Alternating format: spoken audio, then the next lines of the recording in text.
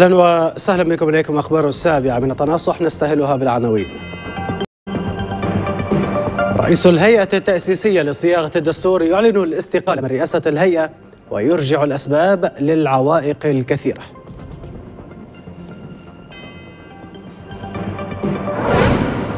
توافد أعضاء مجلس النواب إلى طبرق للمشاركة في تصويت على قانون الاستفتاء على الدستور يوم غد الاثنين.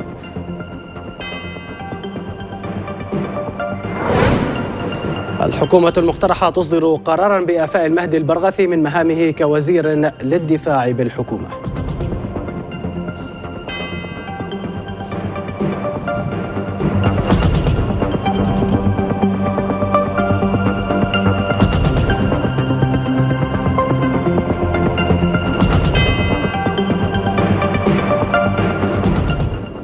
إليكم بالتفاصيل حيث أعلن رئيس الهيئة التأسيسية لصياغة الدستور نوح عبد السيد الأحد استقالته من منصبه كرئيس للهيئة. وقال عبد السيد في بيان له أنه يرغب بعدم الاستمرار في الهيئة التأسيسية بصفته رئيسا لها أو ضمن أعضائها أيضا وأنه لن يباشر أو يزاول مقتضيات الوظيفة أو أي عمل من أعمالها. مرجعا أسباب استقالته للعوائق الكثيرة المتعلقة بالعمل والمضي نحو الاستقرار بحسب ما جاء في البيان.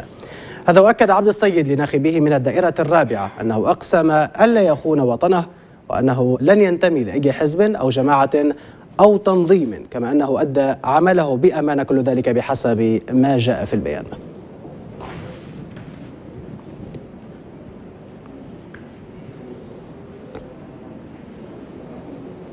للحديث أكثر حول هذا الملف. تنضم إلينا السيدة اعتماد المسلاتي وهي العضو بهيئة مشروع الدستور. سيدة أو دكتورة اعتماد أهلا وسهلا بك معنا بداية. استقالة السيد نوع عبد السيد وهو رئيس لهيئتكم أي هيئة التأسيسية لصياغة الدستور.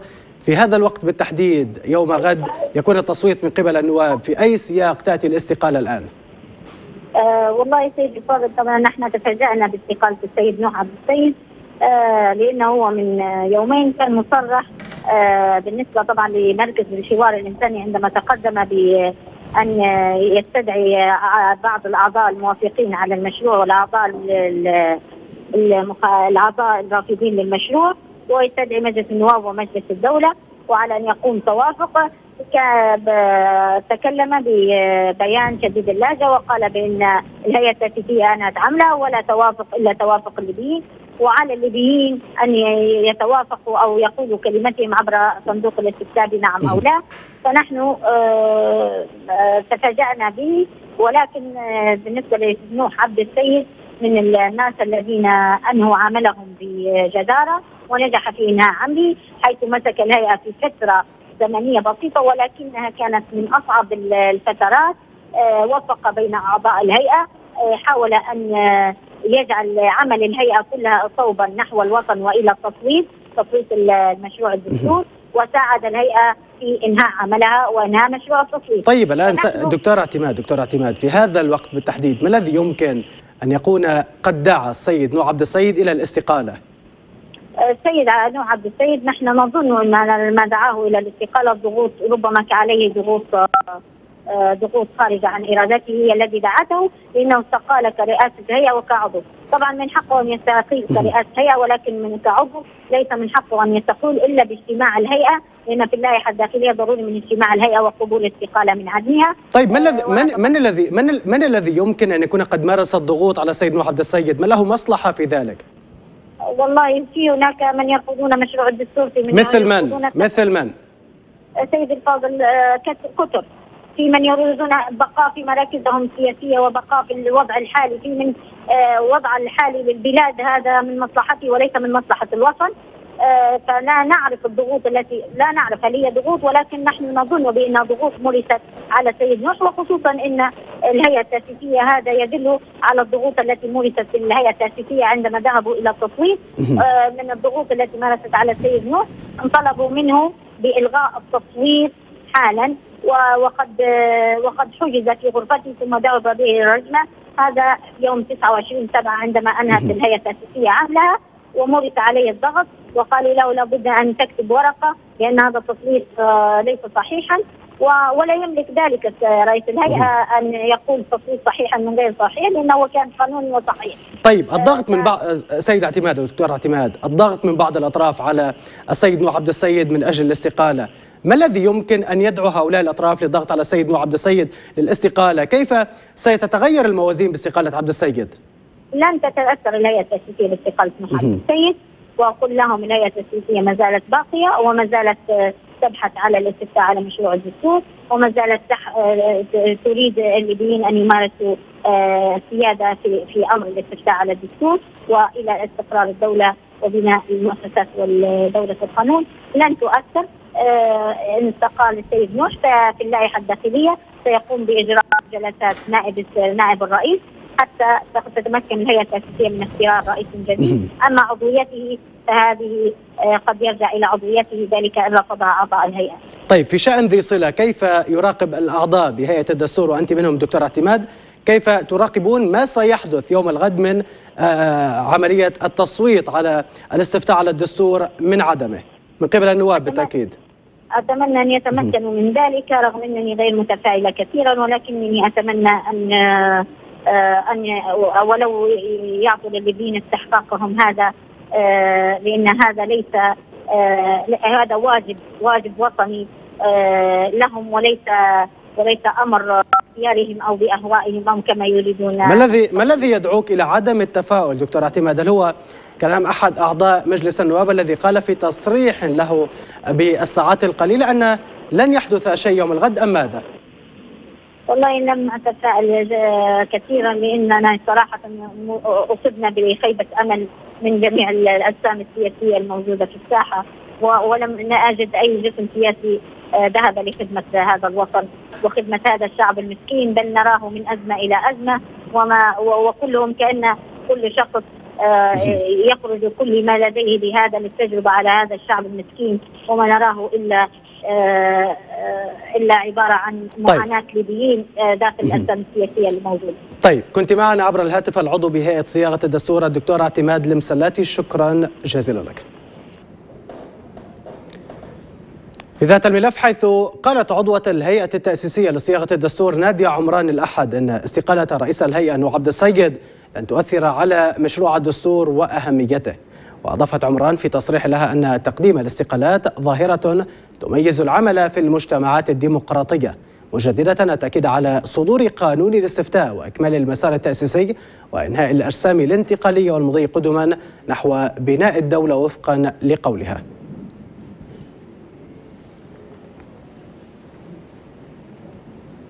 هذا ويعقد مجلس النواب غدا الاثنين جلسة للتصويت على مشروع قانون الاستفتاء على مسودة الدستور الدائم للبلاد.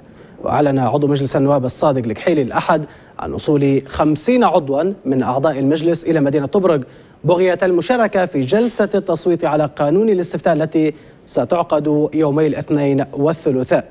من جهته استبعد عضو مجلس النواب علي السعيدي أن ينجح النواب في إقرار القانون الذي يحتاج إلى موافقة 120 نائبا متوقعا ألا يزيد عدد النواب الحاضرين للجلسة على 70 عضوا.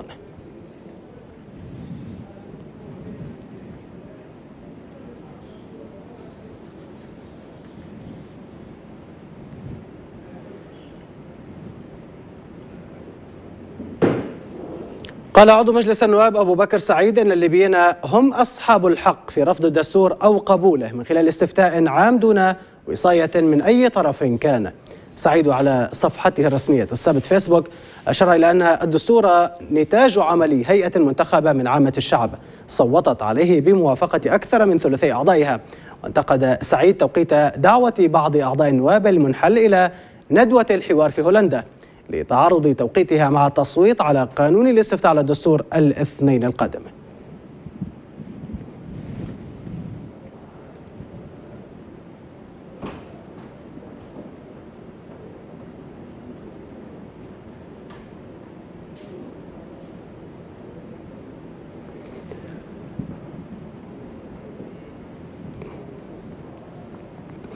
في ذات الملف أيضا ينضم إلينا عبر الهاتف الدكتور فرج دردور وهو المحلل السياسي. سيد فرج أهلا وسهلا بك معنا في قناة تنصح. بدايه من ناحية سياسية كيف تتابع آخر التطورات في ملف الدستور الدائم للبلاد؟ إن تم إقراره من قبل النواب في جلسة يوم غد الاثنين.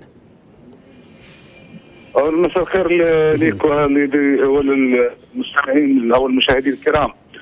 حقيقة الدستور يعني نعرف إن أه، أه، هناك عراقيل مقصودة كانت تتم منذ البداية على عملية تمرير قانون. الدستور حقيقة في الوقت اللي ليس من اختصاص مجلس النواب أن يعرقله بل يجب عليه أن يقوم بواجبه ونجد أنهم يتدخلون في بعض جزئياته بعض فقراته ويطالبون بتعديلها وحقيقة هذا وضع آه، لن ينتهي إذا سمح للجميع بأن يصادر إرادة الشعب في الاستفتاء عن الدستور وأن آه، يضع نقطة هنا ويعترض على نقطه قبل آه، الاستفتاء عليه. فحقيقة الأمر هذا سوف يطول.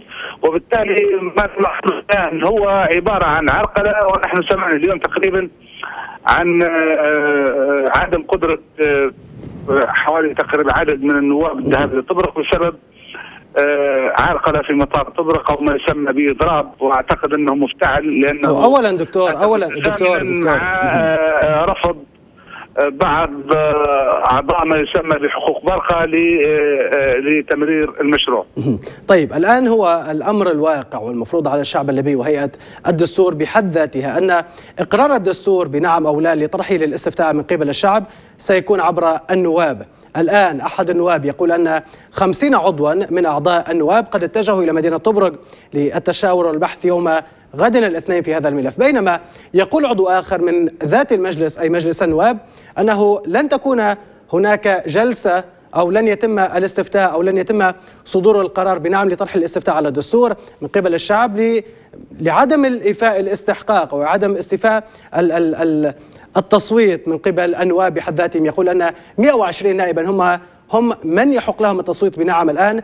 يتوقع هذا العضو من النواب أنه لن يكون حاضرا لهذه الجلسة أكثر من 70 عضو. ما الذي يمكن أن يحدث في هذه الحالة؟ في هذه الحاله حقيقة يعني نحن ما زلنا نعيش في حالة من الانسداد يعني النواب تقريبا ليس هذا العرقله الوحيده وقراهم وجدوا حقيقة وكأنهم وجدوا للعرقلة فقط ولرفض آه، أي حل من من, من الآخرين وبالتالي آه، هذا ما ذهب عليه مجلس النواب منذ انتقاله لطبق لم ينجز شيء بل عرقله جميع الحلول ولم يقدم حل وبالتالي سوف تذهب الأمور في هذا الاتجاه.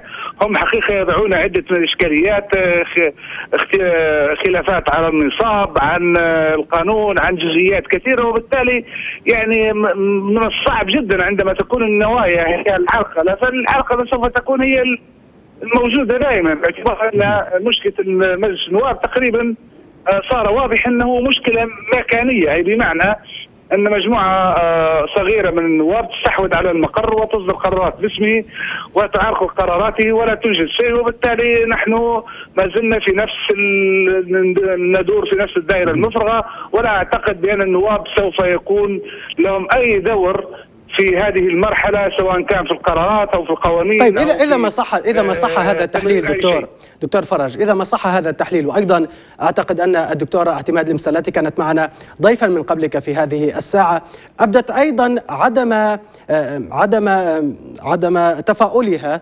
بما يحدث يوم غد الاثنين من قبل مجلس النواب. في هذه الحالة في حال أصدر قرار أو لم تتم الجلسة أساسا أو أصدر مجلس النواب قرارا بعدم الاستفتاء على هذه المسودة من الدستور ما الذي سيحدث حينها؟ لا لا أعتقد لا يمكن انتظار من الفشل نحن نعلم أن مجلس النواب فاشل ولم يسجل له نجاحا واحد وبالتالي لا يمكن انتظار في آه، في أي لحظة من اللحظات أن ينتج أي إنجاز لصالح الشعب الليبي. سيظل بنفس الحاله التي عليه وأعتقد أن سنعود إلى نفس الدائرة المفرغة. هؤلاء أعتقد آه، آه، لابد من وجود بديل عنها مجلس النواب. يعني تأخرنا كثيرا حقيقة في الاحتفاظ بهذا الجسم الجسم المثري وبالتالي أنا أعتقد من يريد أو من يعول على أن مجلس النواب سوف ينجز أي شيء لصالح البلاد فهذا حقيقة مخطئ جدا لأن ما اعتدنا عليه طيل السنوات الماضية. هو نفس الشيء هو نفس الفشل وبالتالي لا يمكن أن يولد الفشل في يوم من الأيام. طيب هل افهم هل أفهم من هذا الحديث دكتور فرج وبأش... وبحديثك عن الدائرة المفرغة إذا ما آه، صح هذه التوقعات من من خلالك وتوقعات أيضا السيد اعتماد المسلاتي أنه آه، ستكون هناك فترة انتقالية جديدة للسلطة في ليبيا والرئاسة في ليبيا والسياسة في ليبيا. أنا في اعتقادي ربما يكون هناك الأمم المتحدة لابد آه، هم يتحدثون عن مسارات آه، مختلفة. أحد هذا المسارات المؤتمر الوطني أعتقد لو تم اللجوء آه إلى المؤتمر الوطني ربما يكون هو البديل عن الأجسام التشريعية لأن جسم التشريعي مجلس النواب هو حقيقه جسم معطل آه لا توجد آه فيه أي إمكانية للحركة وبالتالي أعتقد مساله الانتظار لشيء ميت. هو عبارة عن هامد أعتقد شيء من العبث. طيب اذا كنت معنا الدكتور فرج دردور المحلل السياسي. شكرا جزيلا لك.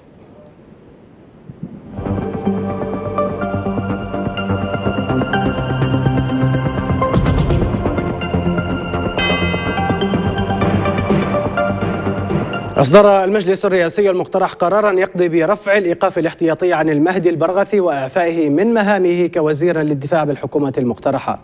يأتي هذا القرار بعد أن وافقت هيئة الرقابة الإدارية على مباشرة وزير الدفاع المفوض بالحكومة البرغثي لمهامه من جديد عقب إيقافه في وقت سابق. هذا وكان البرغثي قد أوقف عن العمل وفق قرار صادر عن رئيس الحكومة المقترحة السراج في مايو من العام الماضي على خلفية الهجوم على قاعدة براك الشاطئ الجوية ومقتل نحو 74 شخصا في الهجوم. نفى المتحدث باسم قوة حماية وتأمين مدينة سرت طه حديد أن يكون هناك أي تنسيق بين قواتهم وبين أي قوات أخرى من أي جهة في إشارة منه لميليشيا الكرامة المتمركزة في منطقة الجفرة. وقال حديد في بين الله السبت أن مهامهم المكلفين بها تنحصر في تأمين سرت وضواحيها ومساندة الأجهزة الأمنية منذ التحرير نهاية العام 2016 هذا وأضاف حديد أن قواتهم لا تتلقى الأوامر أو التكليفات إلا من المنطقة العسكرية الوسطى. نافيا كل ما تم تداوله من أخبار عن تعاونهم مع قوة أخرى لتأمين طريق سرت الجفرة.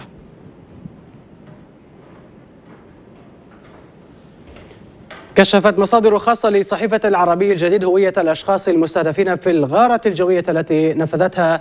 طائرات يعتقد أنها أمريكية في الخامس والعشرين من يوليو الجاري في منطقة عباري وأوضحت السبت أن تلك الغارات استهدفت القيادية في تنظيم القاعدة في بلاد المغرب جمال عكاشة وهو جزائري الجنسية وقد تم إدراجه من قبل وزارة الخزانة الأمريكية على قوائم الإرهاب عام 2013 هذا وأسفرت الغارة عن مقتل عكاشة المكنى بيحيى أبو همام وإصابة كبير مساعديه طلحة الشنقيطي بحسب مصادر الصحيفة.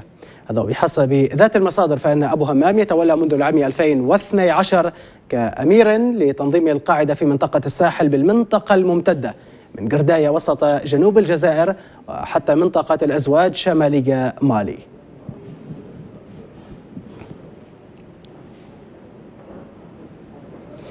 أكد عميد بلدية درنا عبد المنعم الغيثي المكلف من قبل ما يعرف بالكرامة تواصل الاشتباكات في المدينة. الغيثي قال الجمعة أشار أو أشار عفوا إلى أن ميليشيات الكرامة تواجه ما لا يزيد عن خمسين فردا من منتسبي قوة حماية درنا في حي المغار والمدينة القديمة. يشار إلى أن قائد ميليشيا الكرامة كان أو كان قد أعلن الشهر الماضي عن تحرير كامل مدينة درنا.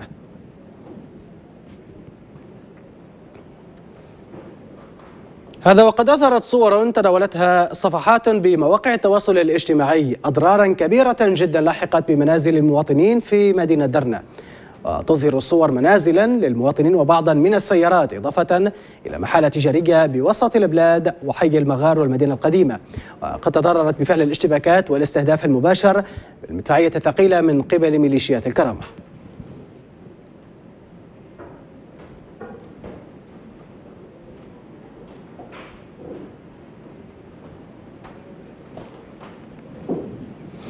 بعد تفشي ظاهرة الاختطاف والتغييب القسري في درنا طلبت الغرفة الأمنية المشكلة من قبل الكرامة في المدينة طالبت المواطنين بدرنة بضرورة التعاون مع الغرفة والمركبة التابعة لها والتي تحمل شعارها الرسمي أثناء تأدية عملها.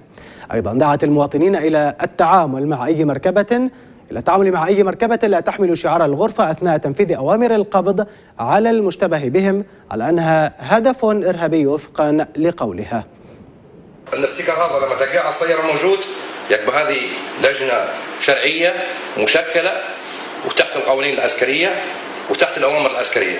أي سيارة تجيك تقبض على ابنك لا يوجد عليه هذا sticker لا يوجد عليه هذا sticker تعامل معه. وكأن ارهابي ونحن معك والقانون معك. السلام عليكم ورحمة الله وبركاته.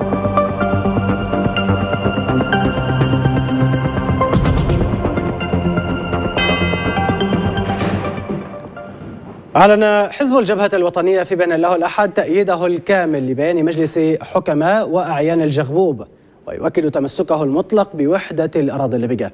حزب الجبهة الوطنية أدان واستهجن أيضا التأجيج والادعاءات الباطلة التي تثيرها بعض الأوساط المصرية التي كشفت عن أطماع خبيثة تخل بحسن الجوار التاريخي بين الشعبين. هذا وأكد حزب الجبهة الوطنية بأن الجغبوب كانت ولا تزال ليبيا ولا تنفصل عن جسد الأمة الليبية وستعيد الجغبوب أمجاد الحركة السنوسية التي انتشر منها الإسلام إلى مجاهل إفريقيا وإلى صعيد مصر وصحرائها. كل ذلك بحسب ما جاء في البيان. بحث وزير الشؤون الخارجية التونسي خميس الجهيناوي الجمعة مع نظيره الأمريكي مارك أو مايك بومبيو تطورات الأوضاع في ليبيا. الشؤون الخارجية التونسية على صفحتها الرسمية السبت أوضحت أن الوزير التونسي أطلع نظيره الأمريكي على نتائج الزيارات التي أداها إلى كل من طرابلس طبرق وبني غازي كل ذلك في إطار مبادرة الرئيس التونسي الباجي قيد السبسي والجهود المبذولة لتهيئة المناخ المناسب لإجراء الانتخابات الرئاسية والبرلمانية قبل نهاية العام وفقا لما تم الاتفاق عليه في اجتماع باريس.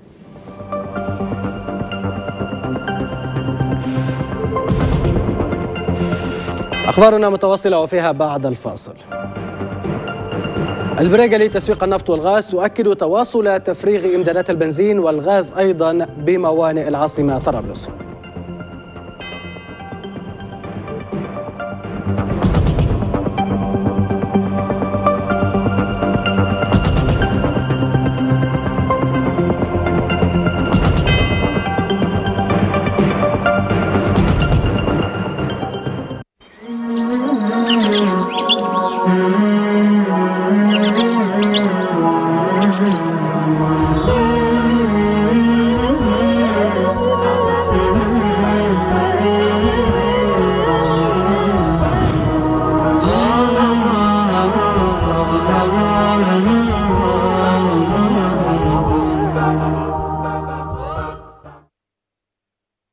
ليس عيبا أن نختلف ولا أن تتباين وجهات نظرنا.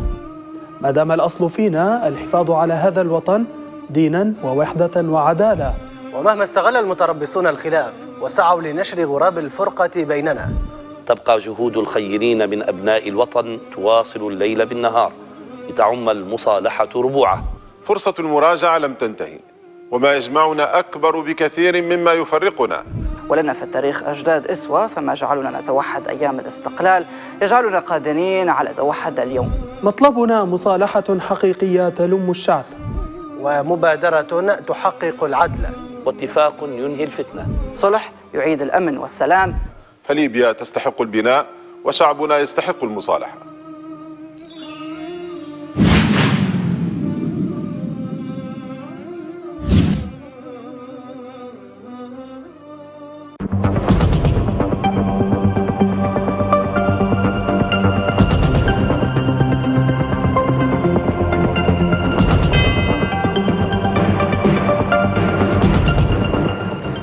أهلا وسهلا بكم من جديد بحث رئيس الرئاسي المقترح فايز السراج مع نائب الممثل الخاص للأمين العام للأمم المتحدة للشؤون السياسية ستيفاني ويليامز بحث مستجدات الأوضاع السياسية في ليبيا والترتيبات التي اتخذتها الحكومة لإنجاح العملية الانتخابية.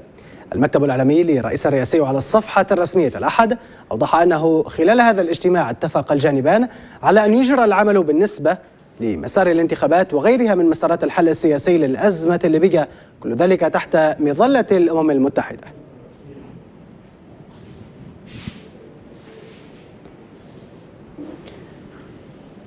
من جانبها دعت نائبة الممثل الخاص للشؤون السياسية في ليبيا ستيفاني ويليامز إلى القيام بالإصلاحات الاقتصادية في ليبيا باعتبارها تمثل أولوية للشعب. البعثة الأممية على صفحتها الرسمية أشارت إلى أن ويليامز أكدت خلال لقائها السبت بنائب المجلس الرئاسي أحمد معتيق على الإسراع في تحسين الظروف المعيشية للمواطن في ليبيا. يذكر أن ويليامز قد التقت في وقت سابق بعدد من الممثلين عن الحكومة المقترحة بغية مناقشة سبل توحيد وإعادة المؤسسات الأمنية في ليبيا.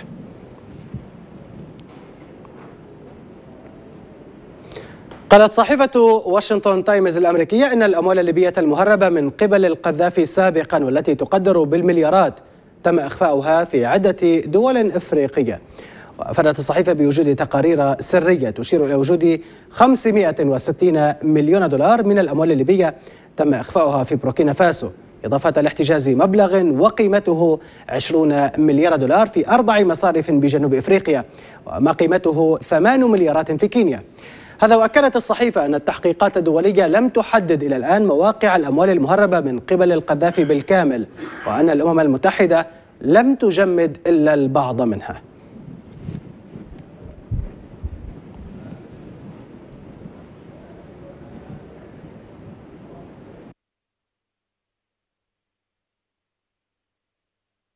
في ملف الفساد الليبي صار للدول الغربية موطئ قدم. فمع التوترات التي سادت منطقة الهلال النفطي وعودة المؤسسة الوطنية للنفط إلى ممارسة مهامها من حيث الإنتاج والتصدير والإدارة للقطاع النفطي في ليبيا بصفتها الجهة الوحيدة المعترف بها دوليا والتي لها الحق الحصري في ذلك.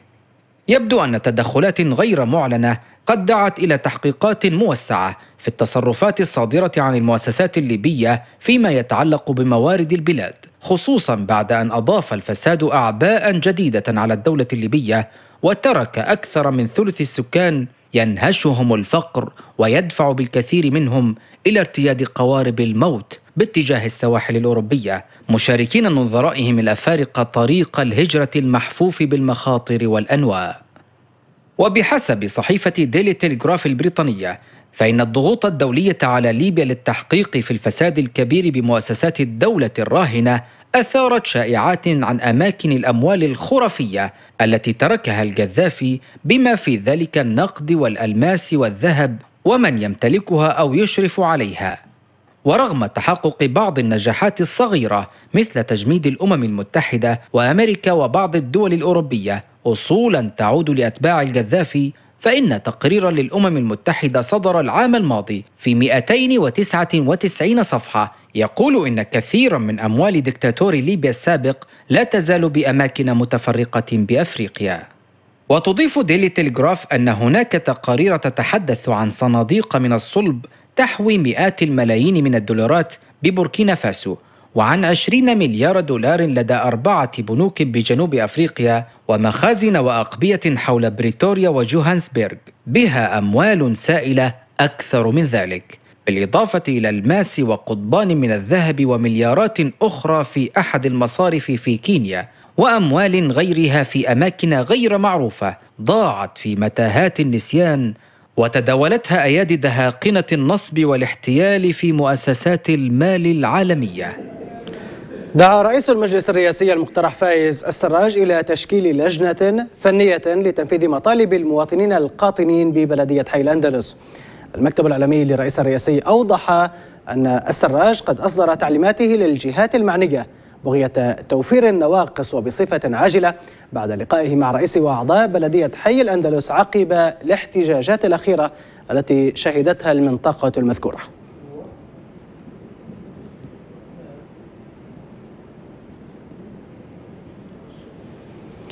شدد وزير الداخلية بالحكومة المقترحة عبد السلام عاشور على ضرورة تكا أو تكثيف الأمن في معبر وازن ذهيبة الحدودية.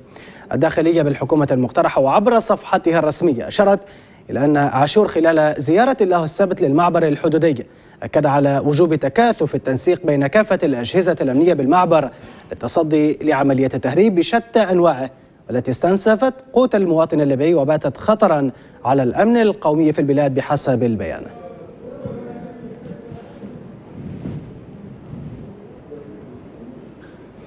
أعزى نقيب المخابز سعيد أبو خريص ارتفاع رغيف الخبز ووصول قنطار الدقيق في الأسواق الموازية لأكثر من 300 دينار لتقصير الجهات الضبطية.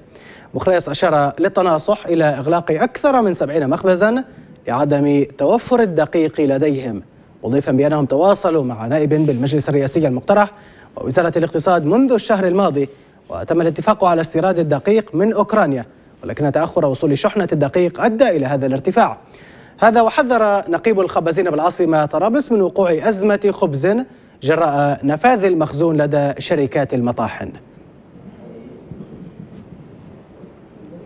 أوضح مدير مكتب الإعلام بشركة البريغا لتسويق النفط أحمد المسلاتي أن تفريغ البنزين والغاز المسال بميناء الزاوية والشعاب ما يزال متواصلا وبصورة طبيعية. وأضاف المسلاتي أن ضخ البنزين مستمر من مستودع الزاوية النفطي لمستودع طرابلس النفطي عبر الناقلة هافانيا هوب المحملة بالبنزين والموجودة تحت التفريغ على رصيف ميناء الزاوية البحري مضيفا أن ناقلة أوشن ديجنتي الموجودة في منطقة المخطاف بالزاوية ستحل محلها غدا صباحا وعليها شحنة بنزين قدرها 70 ألف طن متري كما أشار إلى أن الناقلة غاز كونكورد لا تزال موجودة بميناء الشعاب البحري ومستمرة تحت التفريغ وعليها شحنة من الغاز المسال.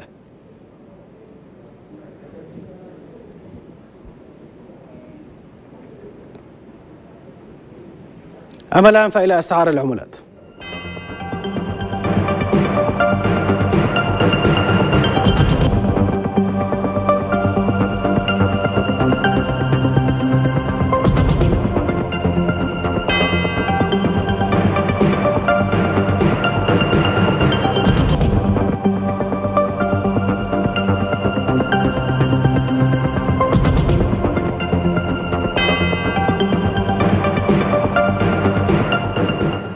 قبل الختام هذا تذكير لأهم ما جاء في الأخبار. رئيس الهيئة التأسيسية لصياغة الدستور يعلن الاستقالة من رئاسة الهيئة ويرجع أسباب ذلك للعوائق الكثيرة.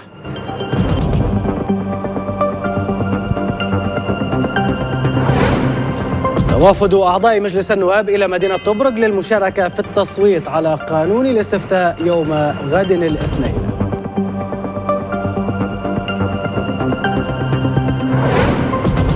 الحكومة المقترحة تصدر قرارا بإعفاء المهدي البرغثي من مهامه كوزير للدفاع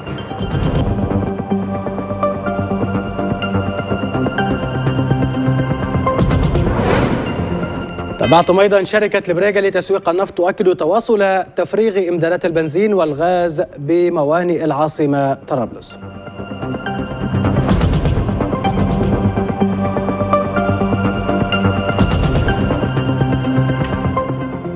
بهذا تكملت أخبارنا أشكركم على المتابعة إلى اللقاء.